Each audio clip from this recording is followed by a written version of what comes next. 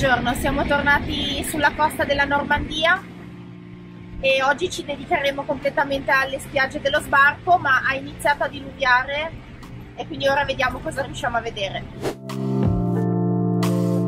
Per coinvolgere i bambini nella visita di questi luoghi così pieni di storia e dare loro un quadro sufficientemente completo, abbiamo deciso di vedere almeno una spiaggia, almeno un museo, almeno un cimitero americano e uno tedesco, almeno un sito di postazioni difensive e almeno una cittadina colpita dai bombardamenti.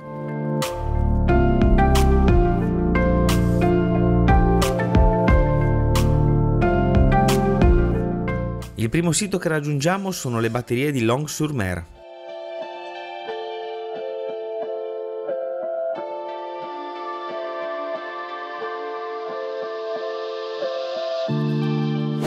Questi quattro bunker, ancora perfettamente conservati, si affacciano sulla porzione di spiaggia compresa tra Omaha Beach e Gold Beach, in una posizione strategica per affrontare lo sbarco sia da ovest che da est.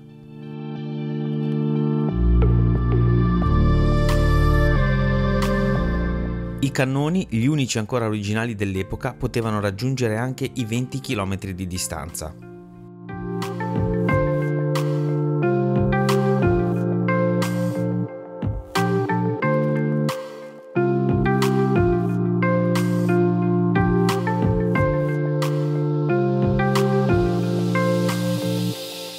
Il sito è visitabile liberamente, si può entrare all'interno dei bunker e spingersi fino al bordo della scogliera per immedesimarsi in quello che successe durante i giorni dello sbarco.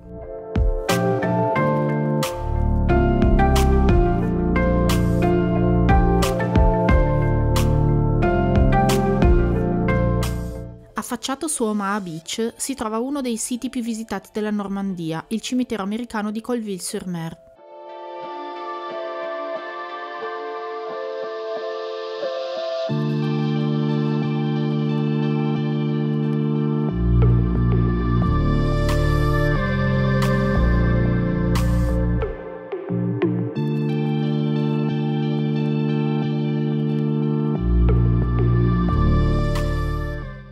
Anno ospita un milione di visitatori che vengono a rendere omaggio ai 9.387 soldati americani qui sepolti.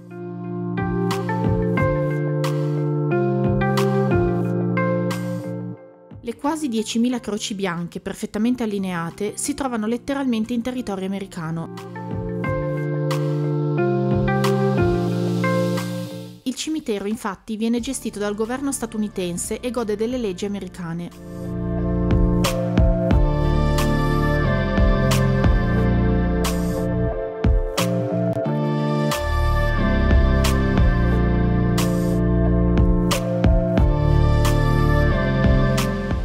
La nostra giornata termina ad Omaha Beach, che nonostante ora sia un'immensa spiaggia che durante la bassa marea regala migliaia di conchiglie, è stata il luogo dove si è consumata la battaglia più feroce.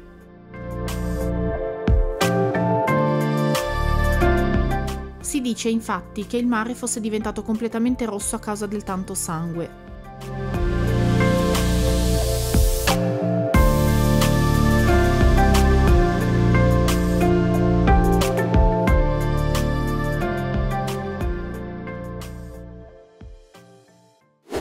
Buongiorno, stanotte abbiamo dormito lungomare qui a Omaha Beach, notte tranquillissima, zero traffico. Bellissimo perché ieri sera avevamo il mare attaccato al camper, c'era l'alta marea, sì. sentivamo il rumore delle onde, invece stamattina il mare non si sentiva più perché la marea si era abbassata e quindi il mare era lontanissimo. E ora dove andiamo?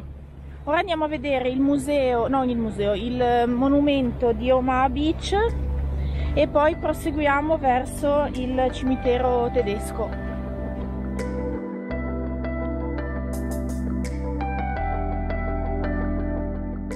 Questo monumento dedicato ai caduti americani è stato eretto in occasione del sessantesimo anniversario dello sbarco.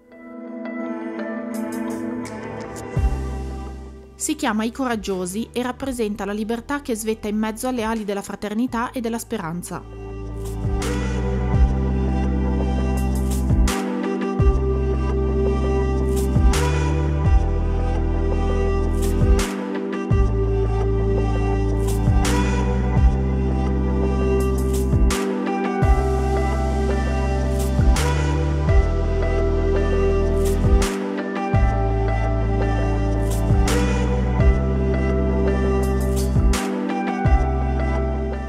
Raggiungiamo poi il cimitero tedesco di La Cambe, che nonostante sia molto più ridotto negli spazi rispetto a quello americano, ospita più del doppio delle tombe, oltre 21.000.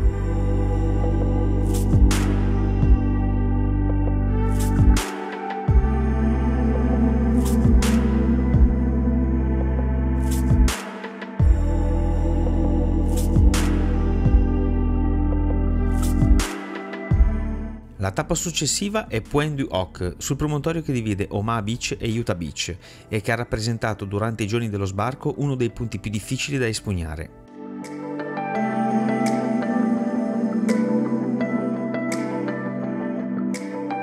Il sito è visitabile in autonomia, seguendo un percorso obbligato, ma purtroppo rispetto alle nostre visite precedenti, ormai diversi anni fa, l'abbiamo trovato un po' trascurato.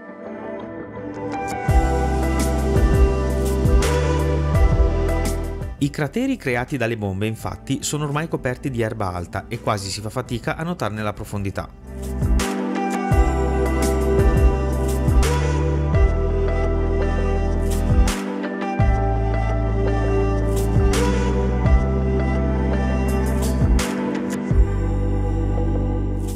Arriviamo a Utah Beach, la più occidentale delle cinque spiagge coinvolte nello sbarco che si trova già nella penisola del Cotentin.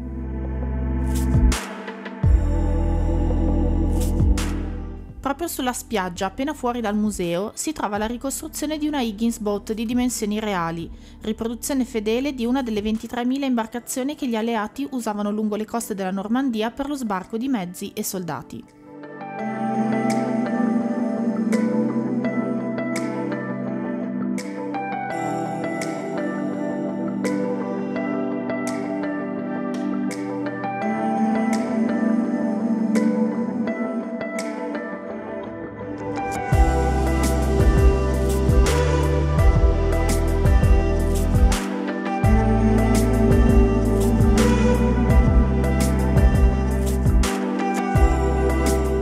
Passiamo la serata in uno spot tranquillo proprio sulla spiaggia e ci addormentiamo cullati dal rumore della marea. Domani si va a St. Mary Glees.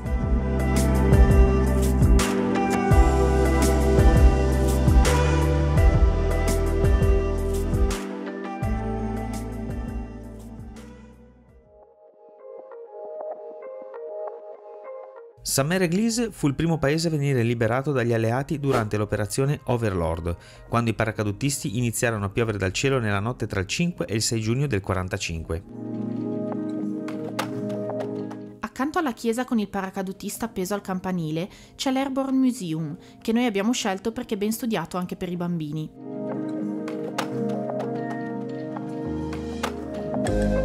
La visita si snoda attraverso scenari diversi e ricostruzioni, tra cui un vero aereo militare su cui si può salire e rivivere le sensazioni di essere paracadutisti nella fase del lancio.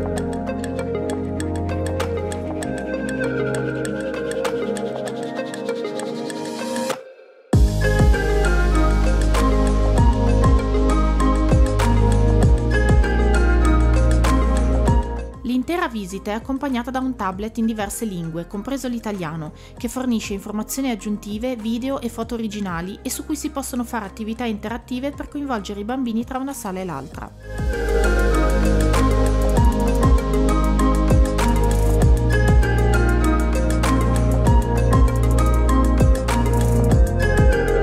Ora il nostro viaggio prosegue lungo le coste della penisola del Cotentin, ma questo ve lo faremo vedere nel prossimo video.